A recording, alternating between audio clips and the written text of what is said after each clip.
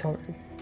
What did you think at that moment when you saw another chopper crash into it and just drop from the sky? Oh, it's just, it was almost um, as if it wasn't real. I mean, it was the, the part of your brain saying it is real, the other part's uh, just just comprehending it. I, I thought everyone would die on, on, the, on the helicopter, and I'm, I'm, I'm sort of fighting myself to be positive, and while just looking at that, thinking, yeah, it's unlikely that anyone's going to survive that.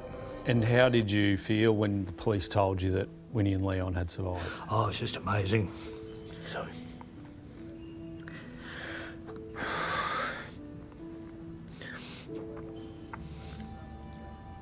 sorry.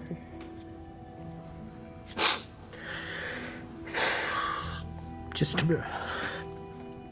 a miracle.